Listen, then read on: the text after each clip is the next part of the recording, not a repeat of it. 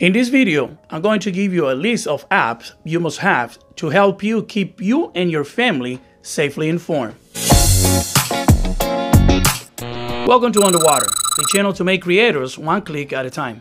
If you're new to the channel, consider subscribing and activate that notification bell to stay informed with the latest technology to help you deal with the crisis and other topics. Without any further ado, let's go under. Coronaviruses are a large family of viruses that cause illnesses ranging from the common cold to more severe diseases such as Middle East Respiratory Syndrome or MERS-CoV and severe acute respiratory syndrome or SARS. A novel coronavirus or nCoV is a new strain that has not been previously identified in humans. Coronaviruses are zoonotic, meaning that they are transmitted between animals and people.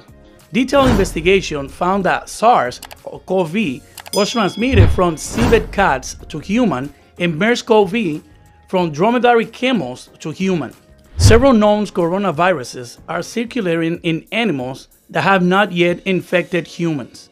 Common signs of infection include respiratory symptoms, fever, cough, shortness of breath, breathing difficulties, and more. In more severe cases, infections can cause pneumonia, severe acute respiratory syndrome, kidney failure, and even death.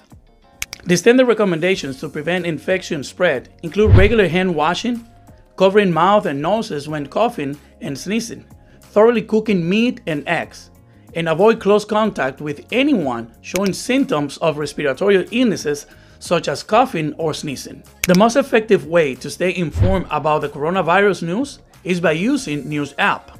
Number 3 News app Quick World News.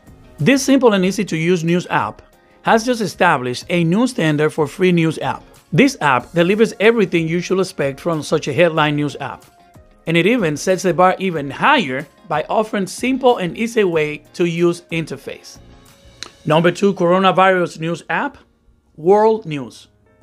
World News app is a fast and easy way to read the latest news from all around the world. This news app saves you a lot of time by allowing you to read multiple news sources using one application. And the number one app? Smart News. Due to its nature, this is by far the most important app of them all. The previous two apps give you a global or a national picture of the coronavirus latest news. Smart News bring it to the local level. How local? Within blocks from your location. Smart News analyzes millions of articles every day to deliver the top trending news stories influencing the world right now. Remember, standard recommendations to prevent infection spread include regular hand washing, covering mouth and noses when coughing or sneezing, thoroughly cooking meat and eggs, and avoid close contact with anyone showing symptoms of respiratory illnesses such as coughing or sneezing. Let me know in the comments what are you doing to keep your family safe. And also, where are you getting your news from? Thank you for watching. Be safe, and I'll see you next time on the water.